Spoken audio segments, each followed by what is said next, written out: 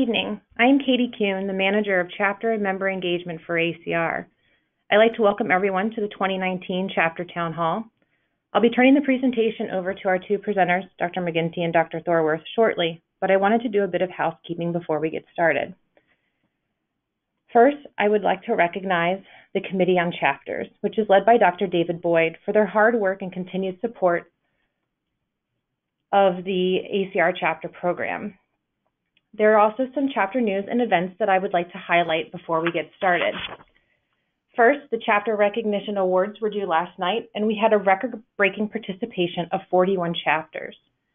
The chapter recognition awards ceremony will take place at ACR 2019. Second, the chapter leaders workshop will take place on Saturday, May 18th from 12 to 4:30. Registration is now open and is open to all chapter leaders, counselors, alternate counselors, and chapter members. If you have any questions about the chapter, chapter leaders workshop, please feel free to reach out to the chapter team. For tonight's chapter town hall, please remember that this is your session and we hope you'll ask questions and participate in that way. We're going to hold questions until the end. However, if something comes up as we're going through the slides and you have a question, you have two ways to submit. Either type your question in the question box or submit a chat message. We'll put those questions in a queue to be addressed at the end. We will also invite you to raise your hand at the end of the session and we can unmute you so that you can ask your question directly. Last but not least, this session is being recorded so that the information will be available after the session is over. We are happy to have Dr. Geraldine McGinty, Chair of the ACR Board of Chancellors, and Dr. Bill Thorwarth, Chief Executive Officer of the ACR, to present the 2019 Chapter Town Hall. So with that, I will turn it over to Dr. McGinty to begin. Thank you so much, Katie, and I'd like to thank you and uh, the Committee on Chapters under Dr. Boyd's leadership for all of your hard work uh, on behalf of our chapters and uh, it's a real privilege to speak to you all tonight. Uh, Katie, can everyone see my screen now? Yes, they can. Terrific. So, you know, unlike many professional organizations, we have a representative governance structure. And as you all know, that starts with our chapters. And it has been truly one of the great privileges that I've had as an ACR volunteer leader to spend time uh, visiting our chapters. And I see among the registrants many of you who have provided with me with such a warm welcome uh, people like Pat Lester and uh, Scott Harter and Mike Devaney. Um, and as I say, it's such a great opportunity to um, connect with mem our membership and really learn what are the issues that are important to you. So I'm hoping to go fairly quickly through some of the priorities that we're focusing on at the college and really hope that we'll have an opportunity to dialogue at the end, but always please be in touch with me. You have my email address there. I'm always happy to be in touch uh, about specific questions. So um, this, as, as Katie said, this is your webinar, but this is also your organization. Uh, we have uh, four locations, our headquarters in Reston. Um, we also are downtown in Washington, uh, where not much is happening these days. And we have our Center for Research Innovation in Philly and of course the Institute for Radiologic Pathology, what some of us old folks know as the AFI, knew as the AFIP, and continues to provide an incredible educational experience to so many trainees. And myself and Howard, uh, uh, great partners, and very, very fortunate to have the opportunity to serve you all as chair and vice chair of the Board of Chancellors, and to work closely with our colleagues Tim Swan and Rich Duszak as the speaker and vice speaker. So our strategic plan is really what guides um, the work that we do, and um, we started this in um, in 2014. We always we we did our, our most recent strategic plan in 2014, but updated it again in 2017, and essentially affirms our core uh, uh, purpose and has allowed us to establish priorities and set goals that can really focus our efforts. And I'm going to touch on on activities in, in each of these. But our core purpose um, is this, and I think this is something we can align closely around. We're serving patients and society by empowering our members to advance the practice, science, and professions of radiologic care. And this, our goal, to be universally acknowledged as leaders in the delivery and, advancement of quality healthcare. And you could say that that's aspirational, universally acknowledged. And I certainly think that, you know, looking back, we've had moments where perhaps we we didn't have the um, the perception of our value among external stakeholders. But I feel as if we're in a really great place right now, and that has a lot to do with the important work that all of you do. But it is indeed a challenging world in which we live in. our workforce is changing, whether it's the fact that we're probably going to see a fairly significant number of radiologists retiring, or whether it's the different areas of focus and priority that we see from some of our younger members. Um, consumerism is rising. The idea that our patients um, are looking to know more about how they're spending their healthcare dollar, and, and appropriately so. We all want to have value for money. This oft touted cha- uh, transition from volume to value, which we've been hearing about now since well before the Affordable Care Act was passed in 2010, and and and yet still we're struggling how to with how to really implement that effectively for radiologists. And then new disruptions in our marketplace, the consolidation that we're seeing among practices, the investment by private equity firms, something that is really um, changing the practice landscape and really making us think differently about how radiology services are, are provided and how radiology is governed in terms of our practice models. So sometimes it certainly feels um, like a stressful time to be in practice. Um, we hear continuously about uh, the opportunities and the challenges that artificial intelligence will provide, and I'm going to talk a little bit more about what we think that's going to look like for us, what it'll mean for radiologists, where will it take our profession. Um, we continue to try to de- develop new tools and think about new relationships. I'll talk a little bit more about some of these, but um, certainly, you know, the, the the burden of investing in informatics and uh, quality management infrastructure is certainly something that is can be very challenging we know for especially some of our smaller practices and that's a very significant imperative for us to continue to support um, those practices and our, I will just um, allude to the very active commission we have under Bob Pyatt's leadership for our general small emergency and rural practices. Um, this is very important to us. So the strategic plan we hope allows us to move forward confidently to support you all. Uh, it's a member organization. So let's start by talking about some of our priorities in terms of member and member engagement. And the Engage platform has been up and running now for a couple of years under the active stewardship of Dr. Larry Liebscher. And the idea was we really wanted to promote a conversation among our members and listen at scale to the conversations that you're having and the things that are on your mind. And um, we did make a conscious choice not to have this be anonymous. I think um, my feeling is that it has been an incredibly civil and thoughtful conversation. Um, that said, I've certainly heard, and you may have seen this in my bulletin column, I've heard that there are some members who feel that they are not really able to comment freely there. That's something we're going to be talking about at our board meeting this weekend. Um, I will really feel personally that I failed if we don't enable the kinds of conversations that allow people to express opinions that are different from the mainstream. Um, but you know, I think, as I say, our members have shown themselves to be the collegial and supportive community that we've always known that they are. Um, and there are many communities there. Um, the open forum, obviously, for everyone. But then we've also, I think, enabled um, certainly enabled some of the state chapters. And I know, uh, hope many of you have your own community, the, the council steering committee, and then some affinity groups. So uh, definitely a lot of possibility with this tool. In terms of making our organization more welcoming to all of our members, um, actions like offering childcare at our annual meeting. I'm very proud that we did that and we'll be doing it again this year. Please, please publicize that at your own state chapter meetings. Um, I know that uh, moms and dads have to plan these things well in advance, but we really want to make sure that everyone knows that we're offering this as well as lactation facilities.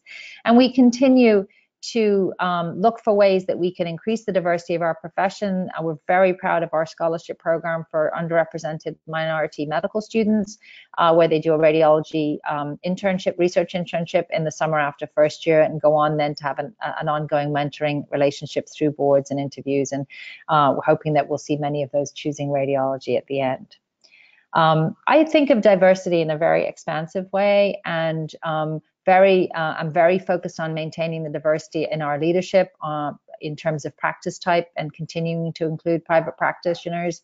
I'm somebody, as is Howard and Rich Duszak, who was formerly in private practice and now in academics. And I will say, appreciate the flexibility that my wonderful department chair and colleagues give me, but really important that we continue to have active private practitioners, people like Bob Pyatt, people like Catherine Everett on our steering committee, and then um, you know our leaders. Uh, Larry Muroff is somebody who certainly is a great advisor for me, um, and uh, making sure that we continue to have all those voices in the discussion is important. Um, if you haven't heard a conversation about burnout in healthcare, then I, you're probably living in a cave uh, and maybe not so burnt out. Um, we had this was the focus of our inter-society meeting last summer, and we had some really great discussions among the, the people there and some some really, I think, terrific data-driven um, uh, discussions. We're scientists. I think we we tend to to like to think about data-driven solutions. Uh, I'm very happy to say that the college will be funding uh, a wellness tool, assessment tool for members um, this year. Um, this is a very uh, evidence-based and well-regarded tool that came out of the Mayo Clinic. This is something we take extremely seriously. I am horrified to think uh, when I hear about suicides among trainees in radiology um, and just having people not uh, be able to experience the joy that I know we can all get from our practice and the reasons that we chose radiology. Uh, definitely want to focus a little bit on what our work on payment models. And if you recall, Imaging 3.0 was about making sure that the rest of the healthcare community understood the value that we could deliver um, and really supporting our community in driving more patient uh, centered care, but also understanding how we could influence the payment system to incentivize that kind of care. A lot of our efforts since 2015 have focused on the MACRA legislation and the quality payment program uh, that emanated from that. Uh, we had an excellent webinar um, last Thursday Rich Heller, Lauren Golding, and Greg Nicola. You could not have three more knowledgeable people. So uh, that's available. I believe it's already on the ACR's YouTube channel. And if you're having difficulty finding it, just be in touch. Um, we realize this program is complex and it's challenging. I, I, think we have some wonderful tools on the ACR website to support you in understanding how to um, how to succeed. We've been talking about decision support for a long time. Um, the PAMA legislation was passed in 2014, and finally, we have confirmation from Medicare that they are going to implement the program in 2020. So we have a year as a community to really knock the implementation of CDS out of the park.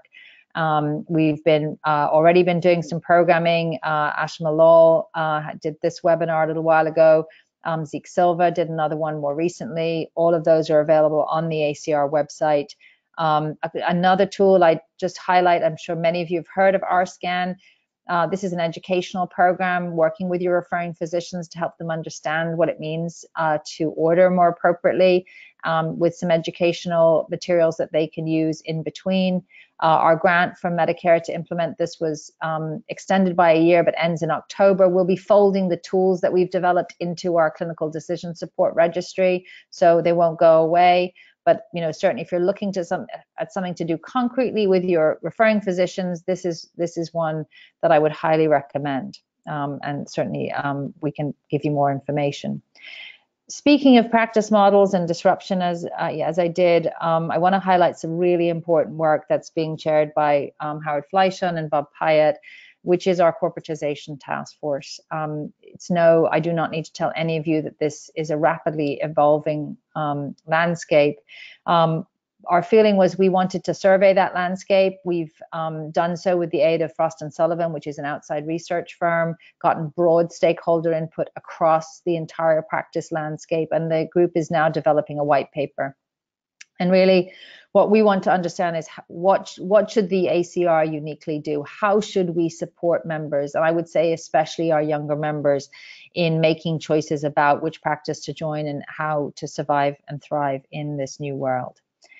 Um, moving on to patient uh, radiology and patient-centered care, I do want to highlight um, the toolkit that the Patient and Family Centered Care Commission under Jim Rawson's leadership has developed, and there's some really terrific resources in there um, you know, in terms of success stories, but also presentations and webinars. Um, one of the things that Jim Rawson, uh, when he was setting up the commission, and it was Bibb Allen who, whose leadership established that commission, was he started articulating the crazy idea that we would have patients on all the committees. And guess what? You know, almost four years later, we have patients on all the committees, and it has been a, wonderful addition to our work. Uh, we also now have patient editors on the board, editorial board of the J, JACR. And it was one of those patient editors, Andrea Borondy Kitts, who recommended that we think about creating patient-friendly summaries of the appropriate use criteria. And it's it's a real goal to go from doing two things to our patients to doing things with our patients to really that that that nirvana of shared decision making. And I don't want to in any way gloss over how challenging that is, but this is a terrific start for patients to be able to understand why we are recommending the test that we're recommending. And um, I think my goal, future goal for these right now, these sit on the JACR website. There's no password or, or required to access them, but uh, I doubt too many patients are spending time on the JACR website. So the question is, how can we take this incredibly valuable content now and make it even more available to our patients?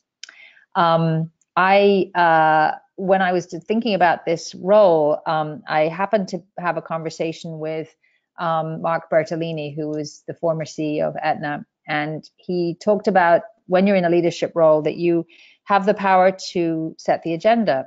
And um, you know, while this is very much in line with our strategic plans, I will say that this has is a personal priority for me, and that's increasing the penetration of lung cancer. I was on the team and I was economics commission chair when we were able to convince Medicare to pay for lung cancer screening.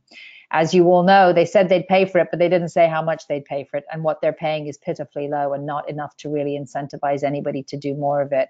But that's not the only problem because I know that we are a community that would really embrace screening. The problem is that the way the benefit is designed, it also requires the buy in of our family practice colleagues, and they have not been enthusiastic and have not supported this. So uh, at the moment, we are um, screening about 2% of the eligible population. And I have challenged our entire board, and I would challenge all of you tonight that this is an opportunity for us to save lives.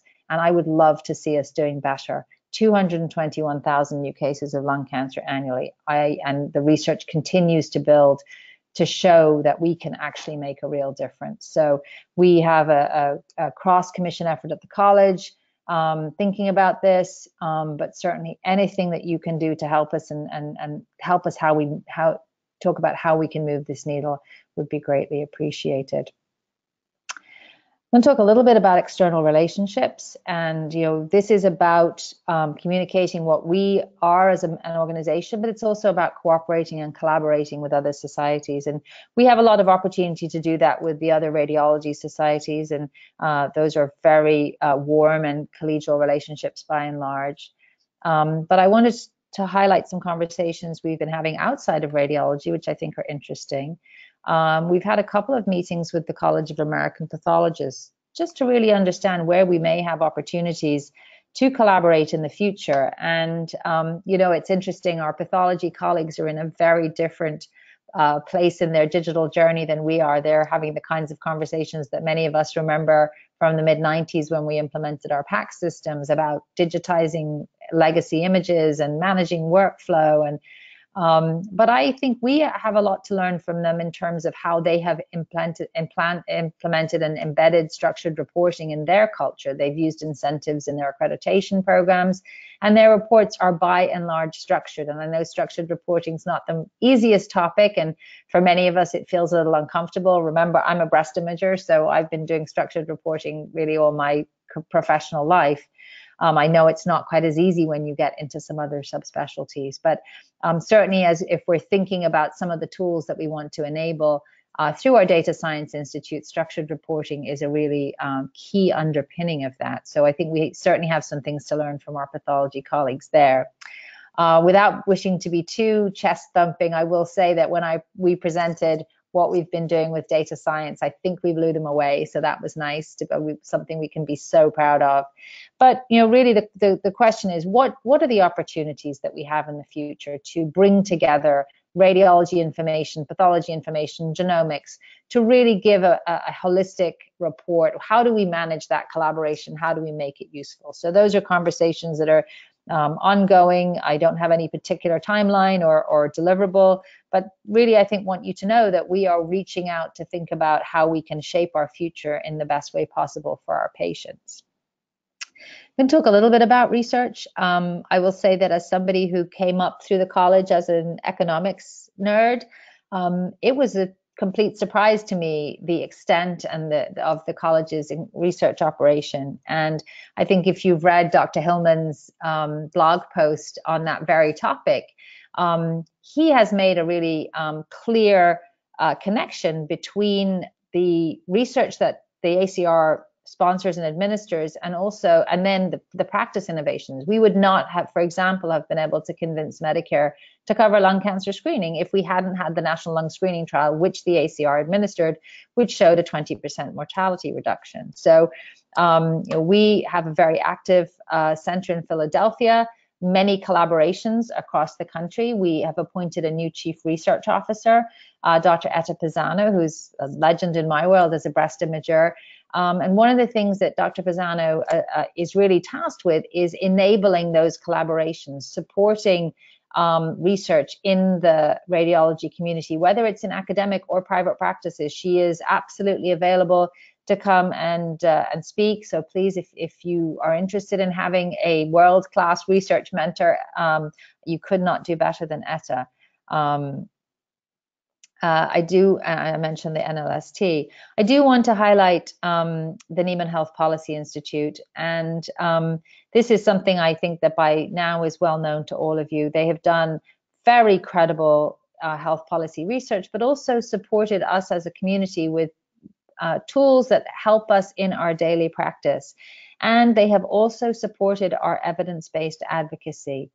Um, you know, the the uh, work that they did to show that CMS's policy of a multiple procedure reduction was really not based in any fact and was certainly not supported by CMS own methodology. That work was was found foundational in our ability to convince Congress to roll that payment back. And that's been responsible for putting a lot of dollars back into the pockets of radiologists so we can continue to provide the high value care that we that we want to to patients. So um, huge credit to um, our team at the Health Policy Institute. I'd like to highlight two exciting new relationships um, always looking for more evidence to show the outcomes that are associated with imaging. And uh, we've established a collaboration with Northwell Health, which is a large health system here in the New York area. Um, to look at outcomes research, and that's that's just gotten up and running. And then we've essentially um, now located the uh, Health Policy Institute at the Georgia Institute of Technology. That's important because one of the challenges we've had has been recruiting and retaining um, talent, talented analysts, talented um, researchers. Um, in the DC area, there are a lot of other people competing for that talent. So, uh, and we're not necessarily able to pay the same salaries as some of the giants. And of course, now Amazon's moving in. So, um, but citing uh, the Health Policy Institute in an academic community can really provide that support and that sense of community that that uh, folks who are looking to do research as a career are looking for. So we're really we're excited about the collaboration in that community, especially around data analytics. Um, so we're looking forward to even greater things from the health policy to come. Um, data science is obviously one of the most um, exciting things that we're talking about. I think I, other people outside of our community are surprised to see us as radiologists optimistic and excited and curious and not panicking. Uh, there's a lot of hype out there for sure, um, but you know there's some real substance. Um, I think that uh, I like this quote. Many of you may have seen some of us present it. I don't think we're going anywhere. We're still um, we're still going to be an integral part of this.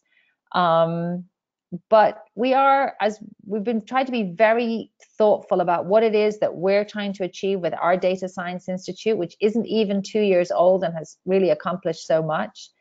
Yes we're unapologetic about ensuring the value of radiologists because we think we're critically important. We unlike any other stakeholder in this ecosystem have patients have a sacred oath to our patients. So we are all about protecting our patients but that said, we understand that um, you know we have to work with the other stakeholders. We have to you know understand what's happening at Google and understand what's happening at that little sta- uh, startup um, down the street. So managing those, and also we have to make sure that we're connecting with the people who are going to be regulating and paying for this. And we do do feel that we have a huge imperative to educate the community, and I think especially educate the community actually outside radiology. Um, this time last year, I was speaking at the nuclear medicine meeting, and uh, a physician came and said that his daughter had been told by her medical school dean not to go into radiology because um, she was going to get replaced by a robot. Well, needless to say, we were on that one like a shot, and Uh, she's now going into radiology. She came to the ACR annual meeting. So um, we are not going to let that happen. But one of the one of the things that we've been talking about as we speak about the possibilities of data science is this really important ecosystem because there is no we can't do it on our own as the as the ACR radiologists can't do this as their own or certainly can't compete with four trillion dollars of market cap that's Facebook, Amazon, IBM, and and uh, and GE and Google. Um, so, but if we don't work together, we do risk getting this wrong and missing this opportunity. And I think we've seen a couple of missteps. The high profile um, investment at, at uh, MD Anderson and also across the street from me at, at, Memorial, where we've invested money. We haven't come out of it with what we were hoping to. If we, you know, we, we, we don't have people in lockstep, there's a lot going on in a lot of different places, and it's not necessarily clear who's going to drive this forward we feel we have a very important role as the ACR as a trust, certainly as a trusted arbiter for our patients, but also as a convener um, to help with development of standards, validation of algorithm, and monitoring of these algorithms once they are out in practice. So I'm, we couldn't be prouder of the work that our Data Science Institute has done under the leadership of Keith Dreyer and Bibb Allen, and their mission to advance data science as core to clinically relevant, safe, and effective radiologic care. So I've talked to you a lot about what we're doing, and um, I'm hoping that we will have some opportunity to talk about what the future holds. But I have to say that when I think about what the future holds, I have to say that I look to all of you, and you have shown your leadership time and time again. So, you know, when we think about what we're trying to do with research and we've focused our foundation on um, on health policy research, really trying to move our specialty forward by demonstrating the value of what we do and understanding how to increase that value. So I have to congratulate and, and, and sincerely thank the practice leaders and chapter leaders who contributed in our um, most recent fundraising drive to, to the work of the foundation. And you know, I think what this shows me is we have people from private practice, we have people from academics working together, um, you know, to advance our profession. So you are shaping our future in that way. One of our core values, or one of the words in our in our goal, is leaders, um, leadership, and our Radiology Leadership Institute, um, founded in 2012, continues to evolve to really support leadership training at every level um, you know at the pivot points in your career whether it's your first job whether it's being a mid-career leader that just got your first you know seat on the hospital board or whether it's a senior leader who's really thinking about managing some of these significant disruptions in the marketplace. So again i have to thank you guys you all for shaping our future and thank all the state chapters who support their members to attend our, our radiology leadership institute planning um, uh, if you haven't had a chance to come to the RLI Summit in September, it is a truly trans. I actually was speaking this afternoon with uh, one of the fellows, the abdominal fellows at the University of Pittsburgh, who's developed a very cool tool with Alexa to uh, help in the reading room he talked about coming to the RLI Summit as uh, uh, sponsored by the Pennsylvania chapter and it really being a transformative experience for him. So you are shaping our future. You are creating the leaders of the future and truly an inspiring, um, an inspiring effort. And many of you I know are involved in it. And you are reaffirming your commitment to our organization, to our broad community, the the system that we have of chapters and the central ACR, the um, representative governance that really starts in the chapters, um, so important. So thank you to all of you who have signed your ACR affiliation agreement. And then as we think about, you know, making our uh, organization more reflective of the patients we serve, more diverse, we we continue to hear about diverse teams making better decisions. And that's clearly what we want for our organization. So I want to thank the following state chapters for their commitment to diversity. Um, and I, I, think this list is getting updated all the time. I also want to uh, sincerely thank Dr. Gail Morgan, who's one of our uh, volunteer leaders in the Commission on Women and Diversity, who's really been um, instrumental in supporting chapters in this work. Um, and we continue to, to work with additional chapters. Um, I'm always reminded that Bill Harrington used to talk about the struggle to make the council steering committee more diverse because obviously the, the members he nominates have to be councillors. So your commitment to diversity is clearly important in uh, creating that leadership pipeline. So once again, it is our state chapters who are creating our futures.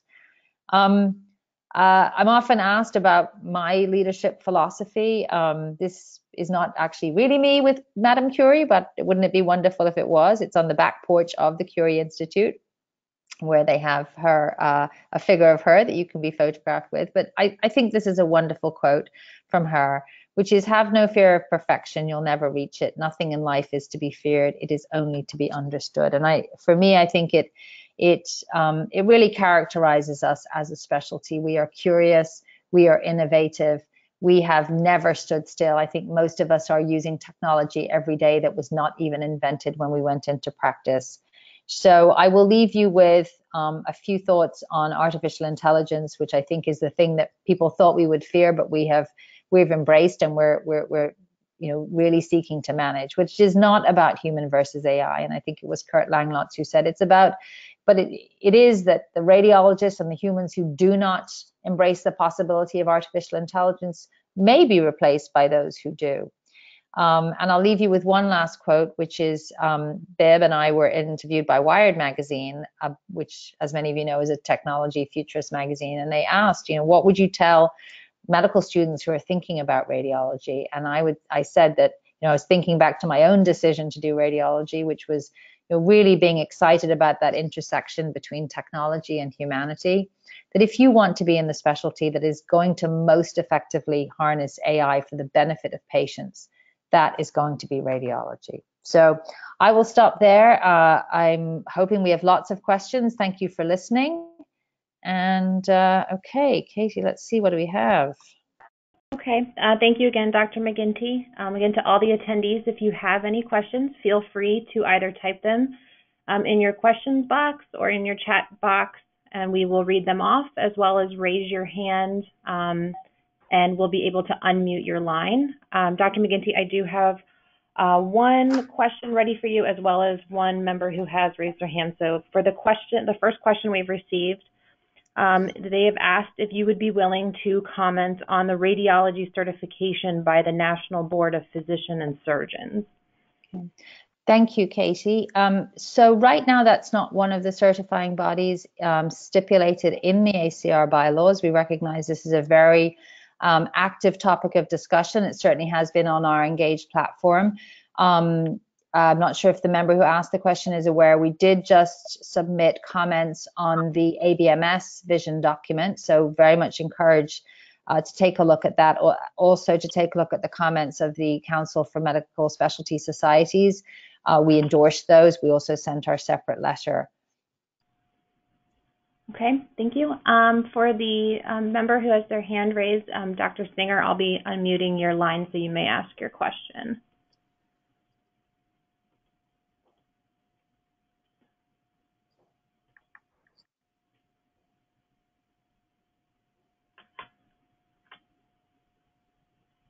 Dr. Singer? He, he may have his computer or phone on mute.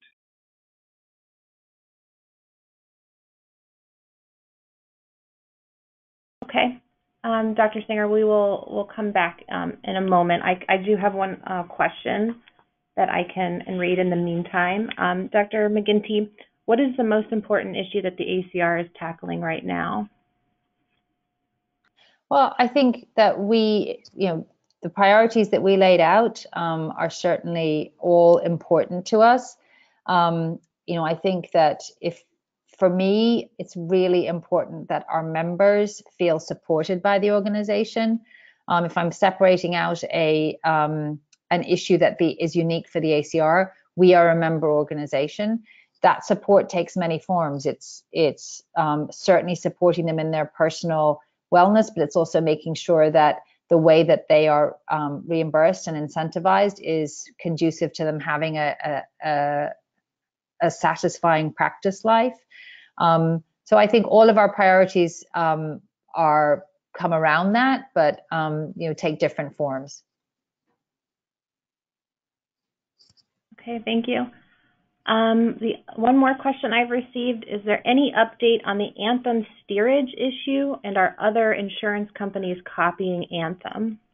So that's a great question, and thank you. Um, so Anthem essentially um, implemented many, many exemptions to that policy, um, which for those who may not have been as familiar, Anthem had a policy where they were steering patients away from certain types of facilities, um, notably hospital facilities. And um, you will recall that the ACR's position on this was that we believed excellent care could be provided in many settings, but that we thought it was never appropriate for an insurance company to be deciding where care should be provided, that that should be a decision between patients and their physician. Um, so as I say, uh, Anthem essentially didn't roll back the policy, but implemented so many exemptions as to really render it um, uh, not not not as active. Unfortunately, United Healthcare has now decided to implement a similar policy. Uh, we have engaged with United Healthcare uh, specifically through the Massachusetts chapter, um, and we'll continue to do that um, with United on a national level. We have a um, uh, commercial payer um, subcommittee of the Economics Commission that, that is uh, taking that on. Yeah, Geraldine, this is Bill. I was going to mention uh, the Massachusetts uh, uh, United Healthcare program also was not a, uh, an actual uh, complete ban on uh, any given location of service, but rather was differential coverage. so it was not quite as draconian as the Anthem policy. Right. Thank you, Bill. Okay, we've received another um, question. Um, it states, as we try to move past six years of PAMA to CDS implementation, what is the evidence that full implementation is marginally more protective of RBMs or reimbursement cuts for imaging? More protective than RBMs, do you think, Katie? Is that Um, it may be. It says okay. is marginally more protective of RBMs or reimbursement cuts for imaging. Okay, I'm going to take a stab at this, and certainly if whoever asked the question doesn't feel like I got it right, please just drop me a note and we'll and we'll work through it offline. Um, you know, we certainly believe that um, the evidence is building to show the benefit of um, of clinical decision support. Some of the really lovely work that's coming out come out of the University of Virginia um, and their ability now to move past pre-authorization with carriers in their area suggests that we, you know, this is something that we can certainly use to drive uh, out uh, radiology benefit managers. And that's, you know, obviously aspirational, but certainly something we will we will continue to articulate as a goal.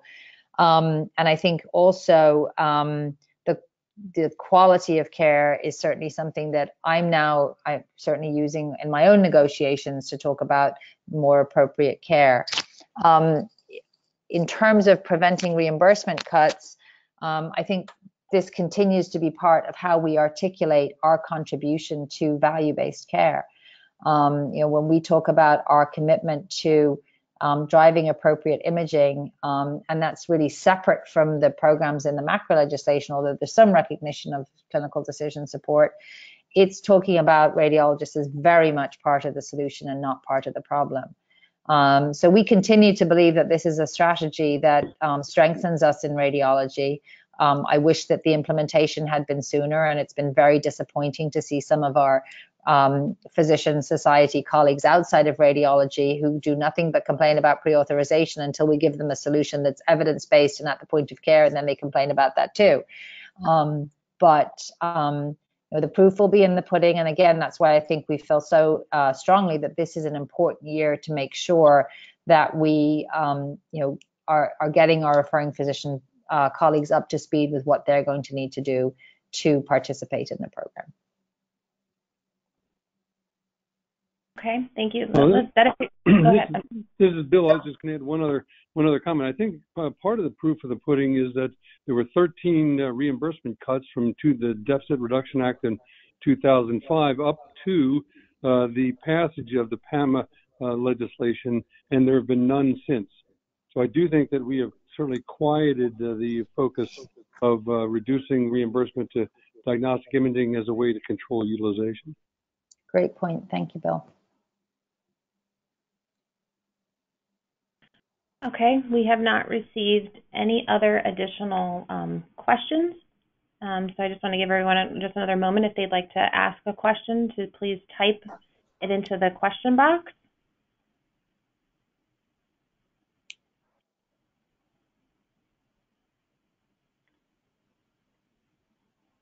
Okay, it doesn't appear that we're getting any other additional questions. So um, again, I want to thank Dr. McGinty and Dr. Thorwarth for presenting this evening, as well as to thank all of our chapter leaders who have joined us for the call. Um, as I've mentioned earlier, we will uh, we are recording this presentation, and we will um, be sure to share it with all of our chapter leaders um, later this week. So if you have any um, additional questions, um, please feel free to reach out to the the chapters team. Thank you, Katie. I'll just say um, I really appreciate everyone spending their evening with us this evening. Looking forward to seeing you all in DC in May. Okay. Thank you. Good night. Good night.